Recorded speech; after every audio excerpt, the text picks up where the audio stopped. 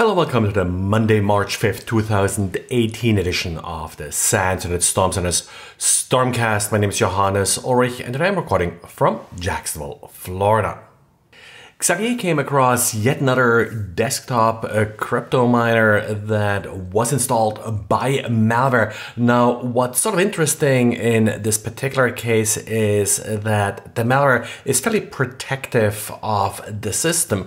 Now, this isn't really new where malware is sort of uh, deleting competing malware, but in this case, the malware is trying to get a hold of as much CPU as it can uh, by deleting competing crypto coin miners.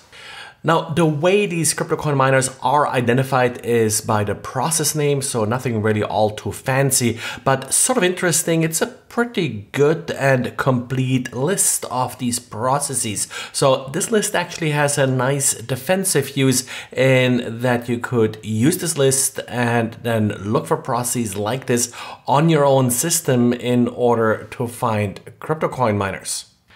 And of course, there is almost no online crime these days that doesn't touch uh, cryptocurrencies in some way. Also, recent Memcache denial of service attacks apparently are asking for ransom to be paid in Monero. So this is only a subset of uh, the attacks uh, that uh, people were talking about last week. And not all of the attacks are asking for ransom. Now, how they're asking for ransom? Well, the payload of the packets they're flooding you with actually will include instructions.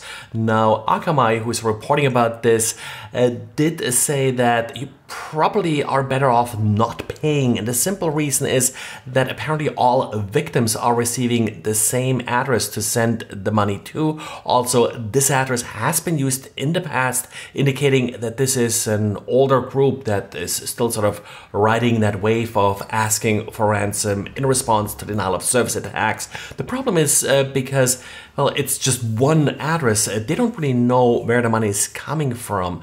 So, uh, really not sure how they would be tracking who is actually paying them. Uh, you're probably better off not to pay them at all because the attack will probably not stop. And no, you cannot ask for your money back. And antivirus company Dr. Web is reporting that they found a banking Trojan pre-installed on 40 different Android smartphones. Now, uh, these are cheap, sort of no-name Android smartphones, and sadly, this isn't actually the first time that this happened. Back in July, they already found that a number of manufacturers included pretty much the same Trojan in their smartphones. These manufacturers were notified and now new models that were actually released after this original discovery are now again infected with this particular malware. Apparently what's happening here is that software companies are approaching these manufacturers to install additional software on their phones. Now, we are all kind of used to the crapware that you often have on new devices, not just phones, but also on desktops, laptops, and the like.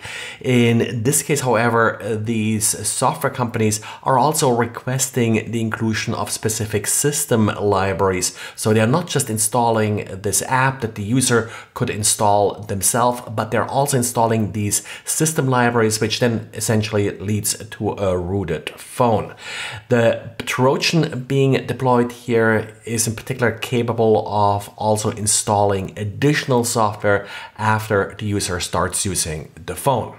Now, if you're worried about uh, being affected by this particular threat, the show notes link to the Dr. Web article that lists all the phones that uh, they have discovered. Of course, there may be more out there. Many of these phones appear to be mostly marketed in China, but of course, some of them may show up outside China as well. And then we got another sort of more traditional uh, piece of Android uh, malware, RedDrop. RedDrop is a fairly recent malicious component being added to various uh, games and such in third-party app stores. And uh, this malware, it is able to record audio and it is uh, sort of routinely sending audio samples uh, back to the maker of this malware.